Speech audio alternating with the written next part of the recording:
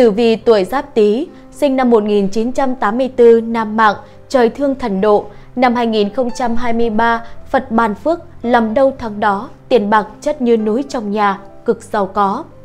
Trong cuộc sống, chúng ta luôn muốn đi con đường ngắn nhất và bước đi nhanh nhất để chạm được tay vào tiền vàng, châu báu và sự giàu có ta luôn mong ước. Và theo tử vi học, thì con đường này chính là bạn phải biết nhìn thẳng vào vấn đề để nắm bắt thời cơ và tránh xa được các vận hạn đang cản bước ngáng đường bạn trên con đường tìm kiếm sự giàu sang sung túc ấy. Tử vi học chia vận trình con người theo từng giai đoạn dài ngắn khác nhau và có những cách tận dụng vận may, cách hóa giải vận hạn chi tiết nhất cho từng giai đoạn khác nhau ấy. Từ đó mà cơ hội nào cũng được chuyển hóa thành sự giàu có, vận xui nào cũng không thể lộng hành. Năm 2023, bản mệnh nam mạng sinh năm 1984 Giáp Tý nắm bắt được thời vận của mình thì con đường làm ăn sự thanh thang thuận lợi, tài lộc dồi dào, tiền tiêu dùng rỉnh, tích góp được vô số vàng bạc châu báu, kim ngân trong năm 40 tuổi này.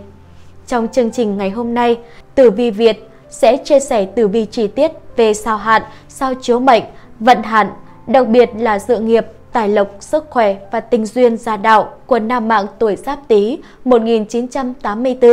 Màu sắc may mắn là màu nào, làm sao để hóa giải được những vận hạn sẽ xảy đến, nhất là năm hạn tam tai. Hãy cùng Tử Vi Việt đi tìm hiểu câu trả lời ngay sau đây nhé.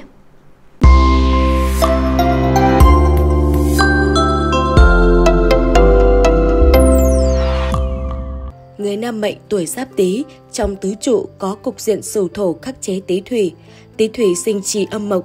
Do đó, con giáp này cả đời vui vẻ, sung túc, nhờ phúc phần tổ tiên để lại, tài sản kế thừa cũng dồi dào, được kết duyên với người phù hợp, trung lưng đấu cật vượt mọi khó khăn thì chắc chắn sự nghiệp sẽ rất thành công, hôn nhân hạnh phúc, mọi phương diện đều phát triển vô cùng tốt đẹp. Năm mệnh tuổi giáp tý là thiên quý tinh, vốn tính thông minh, lành lợi, suy nghĩ lạc quan, giao thiệp rộng, được nhiều người yêu mến. Con giáp này hành xử có tâm đức, ý chí kiên cường, có tham vọng về tài chính, gặt hái thành tựu nhất định trong cuộc đời. Hơn thế, người nằm mệnh tuổi giáp tý giỏi toan tính, phản ứng nhanh nhạy, biến hóa, đa tài nghệ, biết tích lũy tiền bạc, suốt đời không lo thiếu thốn.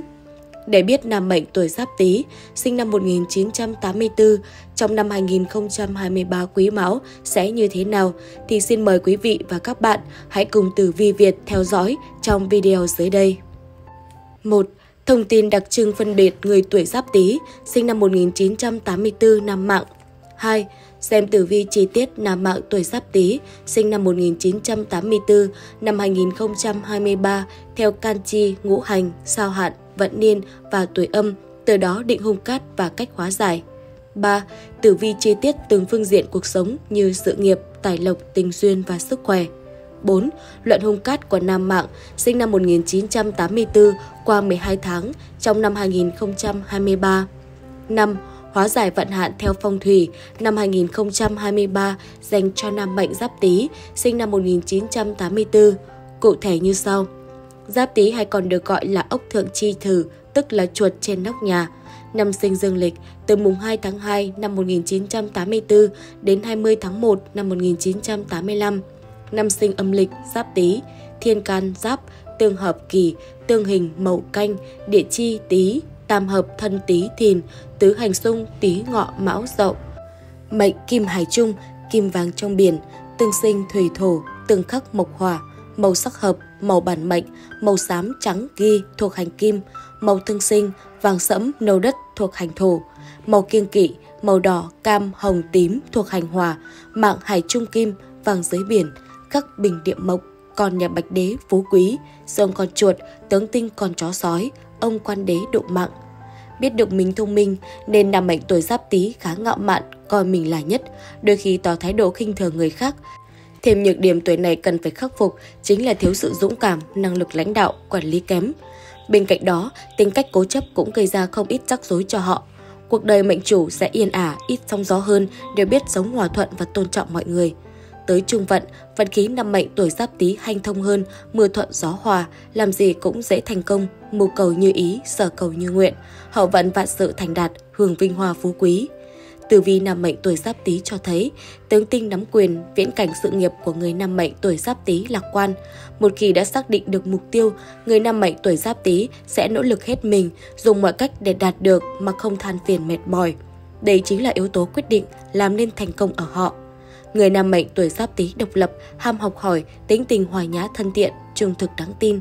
Trong công việc, họ tỏ rõ mình là người có trí tuệ, có tài năng, sức sáng tạo cao, tầm nhìn xa trông rộng, khả năng quan sát tốt. Tính cách linh hoạt, khả năng tùy cơ ứng biến khiến người tuổi này gặp nguy không sợ, gặp khó không lùi. Thêm vào đó, trực giác nhạy bén và đầu óc kinh doanh khiến họ rất thích hợp để tự mình khởi nghiệp. Bước đầu chắc chắn sẽ khó khăn, nhưng nếu kiên trì, tích lũy kinh nghiệm, cho thay cơ thực hiện thì mọi sự sẽ thuận buồm xuôi gió. Một đặc điểm tính cách khác của người nam mệnh tuổi giáp tý là tính kiên trì. Sau khi xác định rõ mục tiêu, đặc biệt là mục tiêu kiếm tiền, thì họ sẽ cố gắng hết sức để thực hiện, quyết không từ nan, nhờ thế mà họ thường xuyên đạt được mục tiêu đã đề ra. Khả năng có, nên người tuổi này ít khi phải lo buồn chuyện tiền bạc trong suốt cuộc đời. Tuy nhiên, một điểm yếu của con giáp này chính là dễ mềm lòng. Dù luôn rất cẩn trọng khi xử lý công việc, nhất là những việc liên quan đến tiền bạc, song tính cách mềm yếu khiến họ dễ bị lừa gạt, lợi dụng, cảm xúc lấn át lý trí nên họ có thể làm ra những việc bất lợi cho con đường sự nghiệp sau này. Người này rất giỏi giao tiếp, cũng thẳng thắn bày tỏ quan điểm với người mình thực sự quý mến. Họ được nhiều người yêu quý và rất đông bạn bè. Tính khéo léo giúp họ dễ dàng xử lý công việc mà hiếm khi đắc tội với nhiều người. Khi gặp khó khăn chắc trở trong công việc thì luôn nhận được sự giúp đỡ của rất nhiều người. Tính cách tự lập và tích cực của người nam mệnh tuổi Giáp Tý khiến họ phù hợp với những công việc có không gian tự do, phát triển hơn là những công việc gò bó như công chức nhà nước. Tuy nhiên, khả năng làm việc nhóm của con giáp này không phù hợp và nhiều hạn chế, bản thân rất dễ mất đi hứng thú của sáng tạo. Nên học cách điều chỉnh, kiểm soát bản thân và hài hòa hơn khi làm việc với người khác. Theo luận giải tử vi chọn đời cho thấy, được tài tinh cao chiếu, tử vi tài lộc của người nam mệnh tuổi giáp tý, hưng vượng, bản thân con giáp này được hưởng lộc chay ban, trong đời hiếm khi thiếu tiền. Tuy nhiên, tính tình lại quá phóng khoáng, tùy tiện, thiếu kiên trì nên họ lãng phí tiền của. Tiền kiếm được nhiều nhưng đến nhanh và đi cũng nhanh. Vì thế, học cách tiết kiệm là điều cần thiết ở con giáp này. Tử vi nam mệnh tuổi giáp tý cho thấy, người tuổi này rất cần cù, nỗ lực, cũng rất cẩn trọng khi làm việc với tiền bạc, khả năng quản lý tài chính tốt. Có điều do dễ mềm lòng nên nam mệnh tuổi giáp tý hay bị người đời lường gạt. Họ có phần tự tin thái quá, do đó đến lúc hành động sốc nổi, nghe theo lời dụ dỗ của người khác. Mặc dù cả đời không phải lo nghĩ chuyện tiền bạc, song con giáp này nên tỉnh táo, bởi tiền bạc trong tay họ phần nhiều do tích cóp, tiết kiệm mặt nên. Họ chỉ biết làm vậy để ổn định lâu dài mà không có kế hoạch đầu tư khoa học và hiệu quả, nên chỉ có lợi tức ít ỏi.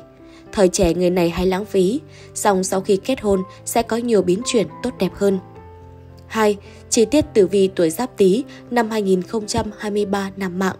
Thứ nhất, xem tử vi năm 2023 tuổi Giáp Tý, sinh năm 1984 năm mạng theo can chi, ngũ hành. Xét về thiên can, Giáp cặp quý bình thường, công việc làm ăn dần ổn định, cuộc sống không quá nhiều sóng gió như trước. Xét về địa chi, Tý gặp mão vừa tốt lại vừa xấu. Điều này ám chỉ công việc làm ăn có sự mở mang thêm nhưng khá vất vả, hao tổn nhiều công sức. Xét về ngũ hành, mệnh chủ hành thủy gặp lưu niên hành kim được tương sinh rất tốt, vận khí vượng, dễ gặp hung hóa cát, nỗ lực hết mình ắt được đền đáp xứng đáng. Tiểu kết, nam mạng tuổi giáp tý, sinh năm 1984, có một năm 2023 hung cát đan sen. Vận khí dần đi vào ổn định, bớt đi nhiều sóng gió nhưng cũng phải lao lực vất vả hơn khi tính chuyện mở rộng làm ăn, công sức cũng hao tổn nhiều. Tuy nhiên, nhờ có ngũ hành tương sinh nên dễ gặp hung hóa cát, mọi thứ chỉ cần nỗ lực và bền trí, ắt sẽ giành được thành quả xứng đáng. Thứ hai, xem tử vi tuổi Giáp Tý, sinh năm 1984, năm 2023, năm mạng theo sao hạn. Theo sao chiếu mệnh, sao Thái Bạch. Sao Thái Bạch hay còn gọi là Kim Tinh là một hung tinh mạnh nhất trong hệ thống cửu diệu niên hạn – người bị sao thái bạch chiếu mạng trong năm sẽ hao tốn nhiều tiền của, ốm đau, công việc làm ăn lận đận, thậm chí còn ảnh hưởng đến cả tính mạng. Người ăn ở mất âm đức khi gặp sao thái bạch còn bị họa lớn hơn bởi kim tinh là hung tinh chủ về hung vận.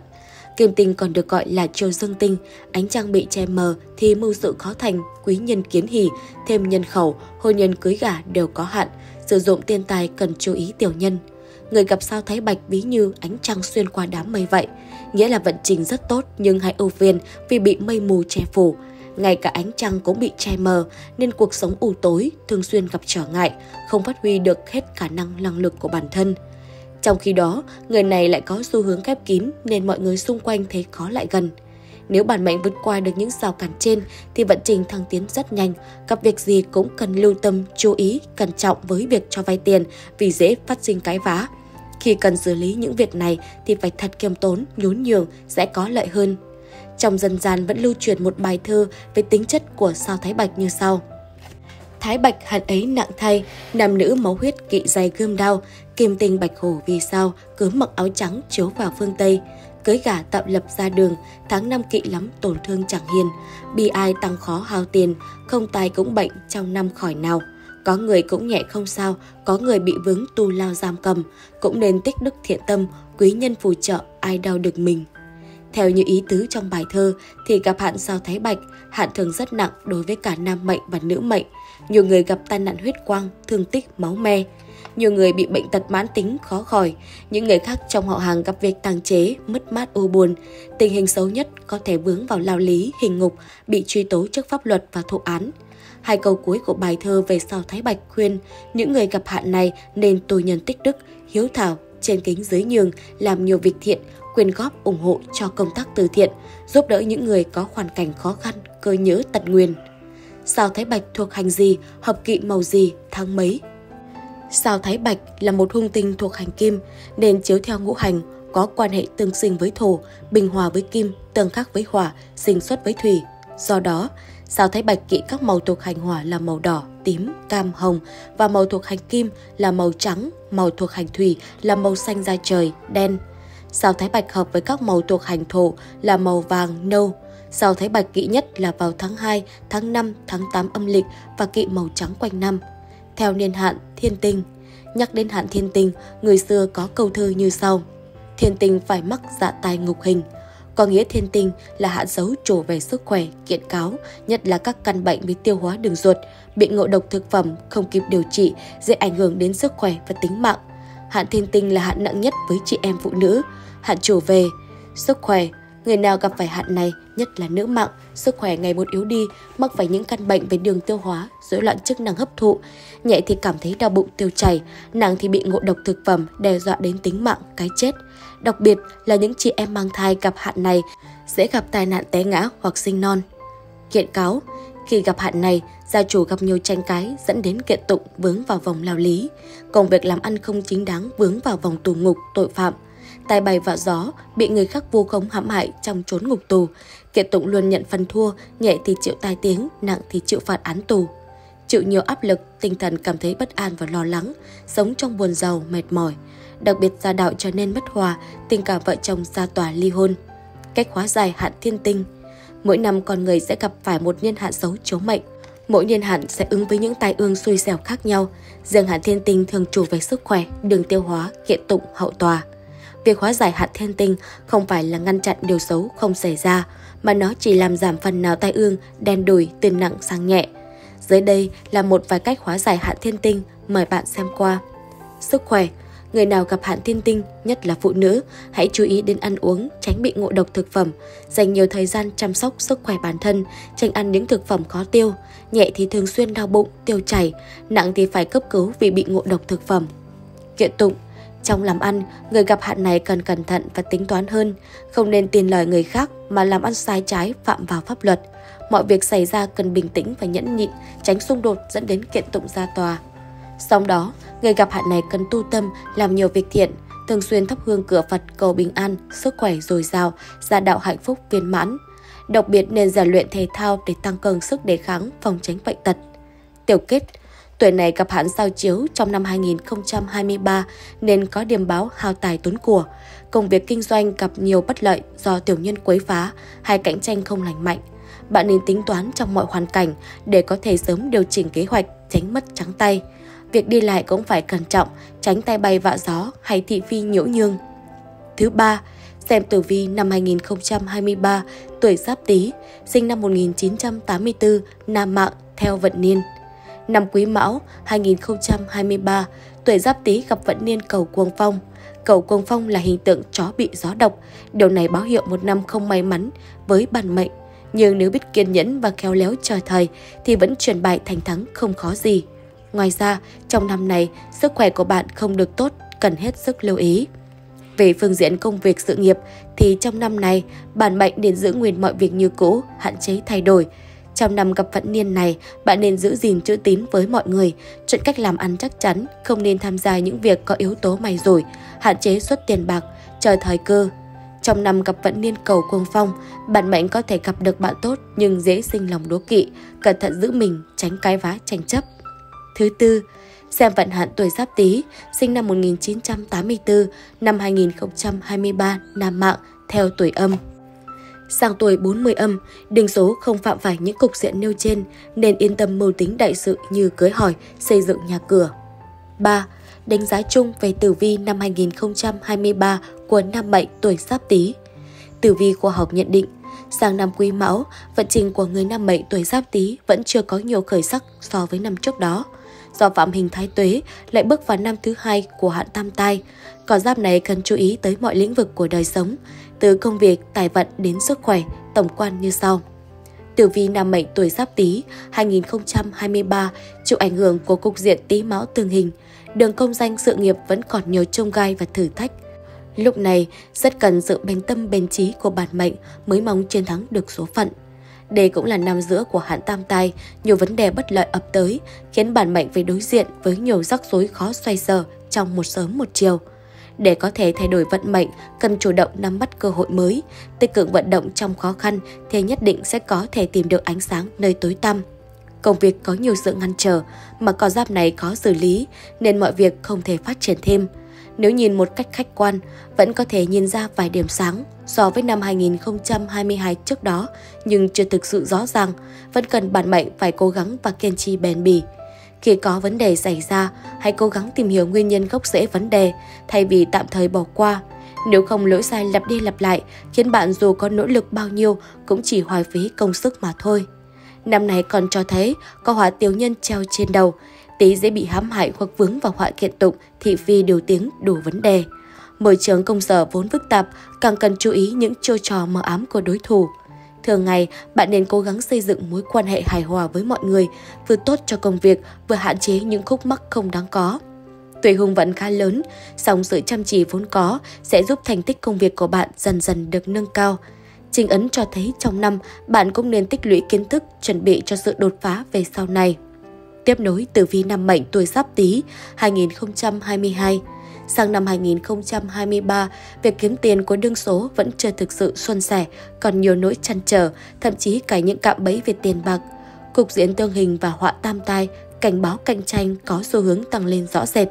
Nhất là những người làm kinh doanh buôn bán sẽ vấp phải không ít chiêu trò từ đối thủ, lợi nhuận cũng dễ hào hụt, khó đạt mức như kỳ vọng tài vận chưa thực sự ổn định, lại thêm hung tinh kiếp tài, chủ với hao tài xung chiếu, nhắc nhở người cầm tinh con chuột cần đề phòng mất tiền mất của. Đầu tư kinh doanh trong năm phải toan tính thật thận trọng, kẻo sai một ly, đi một dặm. Với người làm công ăn lương, công việc trì trệ có thể ảnh hưởng tới nguồn thu nhập chính của bạn. Hơn nữa, có thể vì sự chủ quan trong việc đánh giá tình hình, nên bạn còn có thể bỏ tiền túi ra để đền bù thiệt hại đã đến lúc nam mệnh tuổi giáp tý cần chậm lại một chút để có thể suy xét kỹ hơn khía cạnh liên quan đến công việc và thu nhập hiện tại. Ngoài ra, hung tính cũng sẽ gây tiêu hao tiền bạc và vấn đề về sức khỏe. Bạn nên chi tiêu hợp lý, hạn chế mua sắm hay cho vay mượn không đúng mục đích để tránh khiến tiền của hao hụt càng nhiều. Hãy quản lý tốt túi tiền của mình trước khi có suy nghĩ giúp đỡ người khác. Về tình cảm, Điểm sáng duy nhất của Tý trong năm Quý Mão 2023 nằm ở phương diện tình cảm. Đào hòa xuất hiện, người độc thân có thêm nhiều cơ hội thoát ế. Người đã có đôi cũng tháo gỡ được nhiều hiểu lầm không đáng.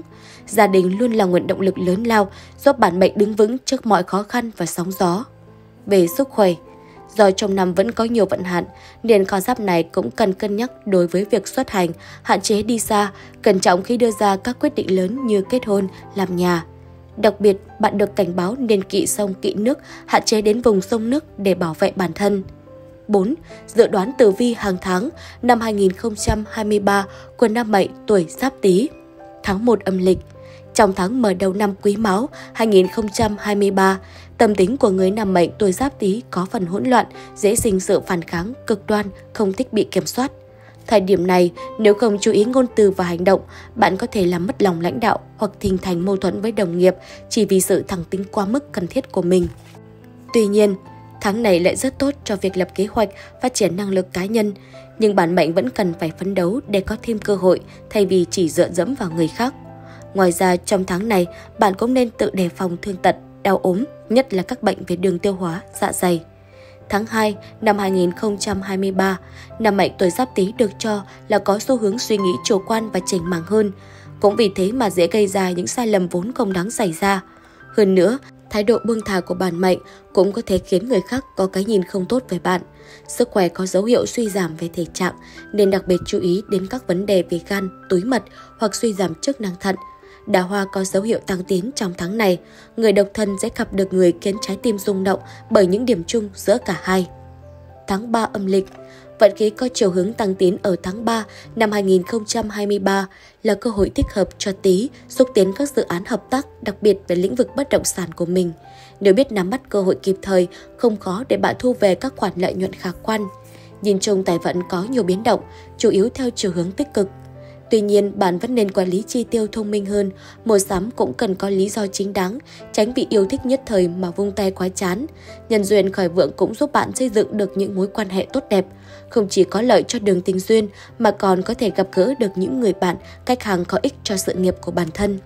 Tháng 4 âm lịch Người nam mệnh tuổi giáp tý sẽ có một số cơ hội về tài lộc trong tháng 4 năm 2023 này. Tuy nhiên khả năng nắm bắt cơ hội của bản mệnh không được nhanh nhạy lắm.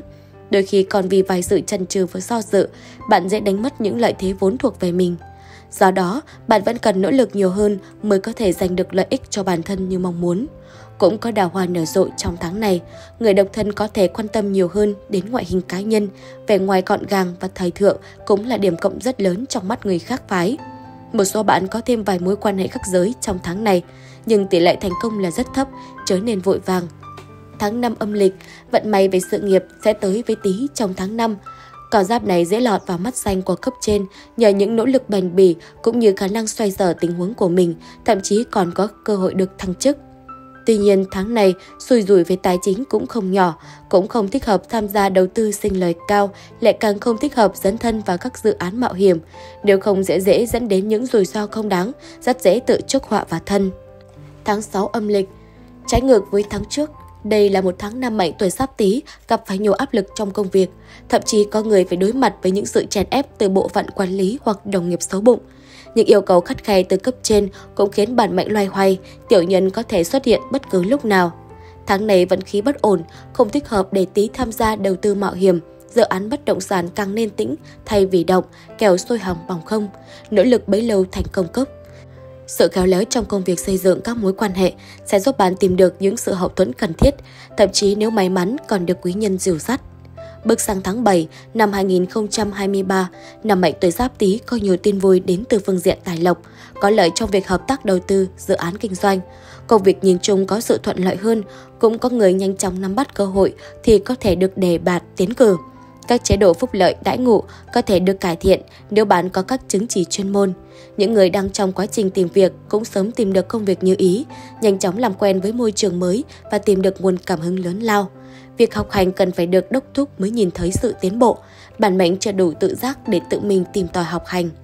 Tháng 8 năm 2023 này, người nam mệnh tuổi giáp tý đón những cơ hội nhất định về phương diện sự nghiệp. Bạn càng chăm chỉ và tự giác, thể hiện được trách nhiệm của mình thì càng dễ nhận được sự quan tâm của quý nhân. Tuy nhiên, bạn cũng cần phải giao tiếp nhiều hơn, hòa mình vào các hoạt động nhóm thay vì có xu hướng tách bản thân khỏi đám đông. Làm việc nhóm trong tháng này sẽ đem lại nhiều lợi ích cho bạn so với việc làm độc lập. Sức khỏe có dấu hiệu giảm sút, đặc biệt là vấn đề tiêu hóa. Một vài triệu chứng khó chịu như ăn uống khó tiêu, kém ngon, đau bụng, nhắc nhở bạn mệnh nên chú ý thành phần dinh dưỡng nạp vào cơ thể. Nếu nhà có trẻ nhỏ, bạn cũng nên đề phòng trẻ có thể bị thương do đùa nghịch hiếu động. Tháng 9 âm lịch Người nam mệnh tuổi giáp tý có ít cơ hội phát triển sự nghiệp trong tháng này. Đã vậy, bạn còn vấp phải nhiều sự cạnh tranh đến từ đối thủ. Những hành động sốc nổi có thể khiến bạn tự chuốc lấy phiền phức. Dù có vấn đề gì xảy ra, hãy cố gắng giữ một cái đầu lạnh để có thể suy nghĩ mọi chuyện thật thấu đáo. Đặc biệt, bạn chưa nên can thiệp vào thị phi hay việc chia bè phái trong tháng này. Tháng này cho thấy bạn có thể sẽ nhận được sự hậu thuẫn từ những người quen như bạn bè, anh em. Đối phương chủ động giới thiệu cơ hội phù hợp cho bạn, hãy nhanh tay nắm bắt. Tháng 10 âm lịch Tháng này, người nam mệnh tuổi sắp tí cần có sự chủ động và mạnh dạn hơn trong mọi việc. Bạn càng sông sáo, sẽ càng dễ giành được phần thắng về mình, nhất là trong các cuộc cạnh tranh. Con giáp này cũng có thể được anh em, bạn bè giới thiệu cho một số dự án hợp tác phù hợp. Điều đó cũng giúp bạn có tâm lý vững vàng trong tháng này và đạt được nhiều bước tiến khả quan. Vấn đề chi tiêu trong tháng có dấu hiệu tăng lên, đa phần cho các mục đích sinh hoạt, hiếu hỏi. Bạn cần phân chia tài chính thành các khoản để quản lý chi tiêu dễ dàng hơn. Vấn đề sức khỏe của Tý trong tháng 11 năm 2023 không mấy khả quan, chủ yếu là các vấn đề liên quan tới gan, tối mật, suy giảm chức năng thận, ảnh hưởng tới sinh hoạt và công việc thường ngày. Trạng thái tinh thần của Tý cũng dễ trở nên nóng nảy hơn. Chỉ một chút kích thích từ khách quan cũng có thể khiến bạn bùng nổ và gây hấn với người khác. Ngoài ra, bạn cần hết sức tránh những hoạt động làm ăn đường tắt có dấu hiệu vi phạm pháp luật, nếu không có thể đối mặt với việc kiện tụng. Bù lại, phương diện tình cảm có đào hoa chiếu nên một số cơ hội tình cảm sẽ xuất hiện.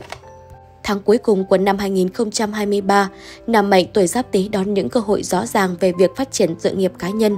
Kế hoạch được triển khai trơn tru hơn, do đây cũng là tháng cuối năm nên khó tránh khỏi cảm giác vội vàng, chạy nước rút. Do đó bạn cũng nên tính toán cẩn thận, tránh nóng này mà hỏng việc. Một vài cơ hội hợp tác trong các dự án bất động sản sẽ xuất hiện, nhưng bạn sẽ cảm thấy không được thoải mái bởi những ràng buộc trong điều khoản hợp tác, đôi khi còn sinh ra cảm giác áp lực. Ngoài ra, trong tháng này cũng sẽ phát sinh một mối quan hệ mới và bạn sẽ gặp được một số người bạn có ích cho sự nghiệp của mình. 5. Tổng kết tử vi năm mệnh tuổi sắp tý năm quý mão 2023 Năm Quý Mão 2023 sẽ không quá bất lợi nếu người năm mệnh tuổi Giáp Tý hành sự thận trọng, cơ hội tuy không nhiều nhưng không phải là không có. Trong nguy có cơ, trong hung tàng cát, nếu biết chủ động nắm bắt thời cơ và kiên trì theo đuổi mục tiêu thì đương số sớm muộn cũng đạt được mục đích, thành công chỉ đến sớm hay muộn mà thôi. Dưới đây là cách hóa giải vận hạn xấu cho nam mệnh tuổi Giáp Tý năm 2023 trên từng phương diện. Về công việc, trong năm có thể hợp tác làm ăn với bạn bè, đối tác, tránh tự mình mở rộng, có thể gặp bất lợi về nguồn vốn lưu động và thủ tục pháp lý. Về tiền bạc, thận trọng với các giao dịch tài chính, hạn chế đầu tư mạo hiểm, thay vào đó là các khoản đầu tư dài hạn, ít rủi ro hơn.